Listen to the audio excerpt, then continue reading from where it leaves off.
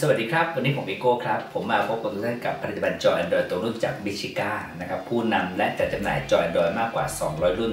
จากทั่วมุมโลก วันนี้ผมอยู่กับตัว Mitsubishi Lancer EX 2007ถึง2015 นะครับสำหรับตัวนี้เนี่ยนะครับก็เป็น Lancer EX ที่มีความยอดนิยมมากนะครับในช่วงวันนั้นเนี่ยถือว่าเป็นรถต่อจาก รุ่น Evolution นะครับที่อยู่ในต่างประเทศนะครับก็เป็นรถรุ่นนี้นะครับแล้วก็มีการใช้มากนะครับซึ่งในตัววิทยุเดิมของเราก็แถมเป็น EP3 แบบนี้นะครับแล้วก็ติดตั้งแล้วก็จะดูสวยงามขึ้นอย่างชัดเจนทีเดียว เรามาดูเนื้อจอแล้วก็ดูผลิตภัณฑ์กันนะครับสำหรับในตัว Lancer x รุ่นนี้เนี่ยนะครับก็เป็นเนื้อจอที่มีความกว้างของหน้าจออยู่ที่ 10 นิ้วนะครับเป็นเนื้อจอแบบ IPS มีเม็ดสีนะครับการน้าสัมผัสแบบ capacitive ให้ภาพที่คมชัดทีเดียวนะครับ แล้วก็ในตัวนี้มี ROM ขนาด 32 gig นะครับ แล้วก็มีแรมขนาด 2 gig ROM 32 gig เนี่ยก็สามารถที่จะลงแอปได้หลาย 10 แอปทีเดียวนะครับ แล้วก็แรมขนาด 2 gig เนี่ยเมื่อเมื่อเวลาเราเล่นภาพ 2 จอพร้อมกันเนี่ยทำให้ภาพเนี่ยลื่นไหลไม่สะดุดติดขัดเลยนะครับ แล้วก็สำหรับท่านที่ต้องการ option ที่เหนือกว่านั้นเนี่ยฮะเราก็จะมีเป็นตัวที่ ROM 64 นะครับ แล้วก็มีแรมขนาด 4 gig นะครับแล้วก็มีในรุ่นนั้นก็จะเป็น Double CPU นะครับเป็น PX6 นะครับสำหรับในรุ่นนี้เนี่ยก็จะเป็นรุ่นเขาเรียกว่าเป็น CPU 4 core นะครับเรียกว่าเป็นรุ่น Quad core นะครับรุ่นปกตินี่เองนะครับแล้วก็ในเนื้อจอของเขาเนี่ยฮะก็จะมีลักษณะของช่องที่เป็นช่องแอร์ด้านซ้ายด้านขวานะครับแล้วก็มีช่องที่เราปรับด้านล่างเวลาทำจริงๆแล้วจะมี cover ขึ้นตรงเนี้ย นะครับซึ่งเป็นเป็นลาย Kevlar นะครับที่อยู่ที่วิทยุเดิมของรถนะครับ แล้วก็เป็นลักษณะสีที่เป็นสีเทานะครับ แล้วก็ออกจะดำๆนิดนึงนะครับ เวลาทำงานเนี่ยเนื้อจอก็จะตั้งอยู่ประมาณนี้นะครับทำให้แสงแดดเนี่ยเวลาส่งมาปุ๊บก็จะไม่กระทบต่อหน้าจอ ไม่เกิดจากการย้อนแสงเมื่อเวลาชมนะครับสบายตาขึ้นเยอะครับ ในตัวจอ Android ของ v i s h i k a รุ่นตัว Lancer EX รุ่นนี้เนี่ยนะครับ ก็จะมีโครงสร้างที่ด้านหลังที่เป็น สร้างที่ค่อนข้างจะแน่นหนาทีเดียวนะครับ ติดแล้วก็เข้ารูปสวยงามนะครับ มีตัวชุดกิฟต์ล็อก12ชุดนะครับ ชุดเขาจะเป็นอย่างนี้นะฮะใน Mitsubishi Lancer EX เมื่อเวลาเปลี่ยนเป็นจอ Android ตัวรุ่นแล้วเนี่ยนะครับ ก็ถือว่าได้รับความพึงพอใจอย่างสมบูรณ์แบบนะครับ เพียงแค่แชร์ Hotspot นะครับจากมือถือของเราเข้าไปที่เครื่องตัวนี้นะครับ แล้วก็เราสามารถที่จะ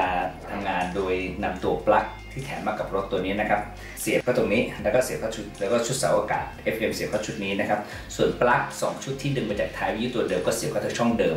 1 2 นะครับเมื่อเวลาเราเล่นพวก FM AM อะไรต่างๆพวกที่ทำงานได้ปกติครับมีเสียงออกไปที่ลำโพงติดรถนะครับเรียบร้อยนะฮะมาดูอุปกรณ์เพิ่มเติมซึ่งเป็นออปชั่นที่เราจัดมาให้นะครับ ในตัวรุ่นนี้เนี่ยก็จะมีสายไฟนะครับแถมให้ชุดหนึ่งนะครับเป็นชุดขยายระบบ ในกรณีที่เราต้องการต่อกับตัวทีวีดิจิตอลนะครับนำภาพทีวีดิจิตอลนะครับมาเข้าในนี้หรือว่า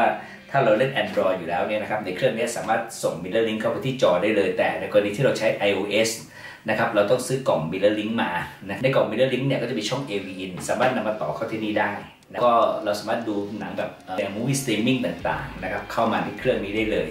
แล้วก็ในชุดที่เป็น AV out ถ้าถ้าเกิดเราต่อกับทีวีหัวหมอนเราใช้ AV out ชุดที่แถมมาให้นะครับ แล้วก็ขยายระบบด้วยขยายระบบแบบ subwoofer นะครับ มี sub out มาอีกหนึ่งชุดในเวลาที่เราต้องการต่อ power amp หรือ bass box หรือตีตู้ที่ด้านหลังรถก็ใช้ต่อจาก p out แบบ sub out ชุดนี้มา แล้วก็จะมีชุดต่อเป็นตัว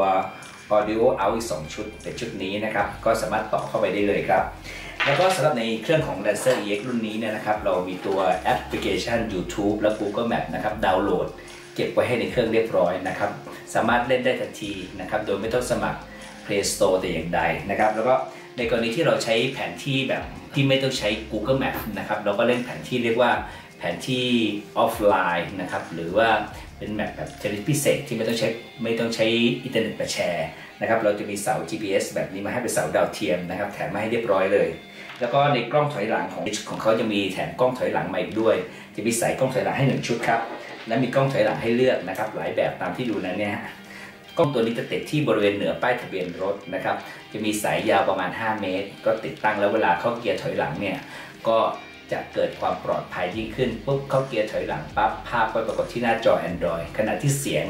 ต่างๆ ยังทำงานได้อย่างปกติเหมือนเดิมครับทุกดึงเนี่ยฮะเราสามารถที่จะเล่นตัวเพลง audio ต่างๆผ่าน flash drive เราก็นำมาเล่นในเครื่องได้ปกติแต่ปัจจุบันเนี่ยเราพัฒนาการได้เหนือชั้นเรามี flash drive หรือฮาร์ดดิสก์ external นะครับเราสามารถเซฟเพลงประเภท MP3 นะครับหรือ audio ที่เหนือกว่านั้น หรือเป็นลักษณะของการ rip เพลงมานะครับอย่างที่เป็น FLAC หรือเป็น WAV หรือไฟล์ที่เป็น lossless ต่างๆนะครับเซฟมาแล้วก็ต่อผ่านช่อง USB ชุดนี้นะครับนำเข้าได้เลยนะครับแล้วก็ต่อเข้าไปในเครื่องปุ๊บอ่านไฟล์เพลงทุกชนิดและมุมเดียวกัน ถ้าเกิดเราเนี่ยสามารถที่จะเซฟภาพยนตร์นะครับเป็นพวก MKV นะครับ MP5 หรือว่า AVI นะครับเนี่ยเซฟใส่เครื่องพวกนี้ได้นะครับแล้วก็เอามาเสียบเข้าจากช่อง USB ที่แถมมาให้พวกนี้ได้เลยครับ มีออปชันที่เหนือกว่านั้นก็คือในช่วงนี้ปกติจอ Android เหล่านี้นะครับลูกค้าซื้อแล้วก็อยากจะถามว่ามีกล้องหน้ารถไหมนะครับวันนี้ไม่ต้องแล้วนะครับ เราซื้อกล้องหน้ารถ Android อัจฉริยะนะครับเป็นออปชันเสริมเข้าไปในจอได้เลย ไม่ต้องซื้อกล้องหน้ารถแบบทั่วไป ถ้ากล้องหน้ารถทั่วไปเสียละใส่กล้อง Android ดีกว่าครับกล้องตัวนี้ทนมากครับไม่มีความร้อนเป็นตัวที่ทำงานผ่านแอปพลิเคชัน มีระบบบอกวันเดือนปีนะครับเวลาและสถานที่เกิดเหตุเป็น latitude longitude มาผ่านแอปพลิเคชันเลยนะครับ แล้วก็สามารถจะเตือนเมื่อเราออกเข้าเลนฉุกเฉิน หรือมีรถแทรกเข้ามาในเลนเราอย่างฉุกเฉินได้อีกด้วยนะครับติดกล้อง Android ไปด้วยนะครับหลังจากที่ติดจอ Android ไปแล้ว ก็จะต่อผ่าน USB ที่แถมมากับเขาอีกหนึ่งชุด USB เท่ากับมี 2 ชุดนะครับสำหรับท่านที่สนใจจอ Android นะครับแล้วก็สนใจรายละเอียดผลิตภัณฑ์ผู้ชมที่ด้านนี้นะครับแล้วก็มาดูแล้วหลังจากติดแล้วเป็นยังไงกันบ้างครับ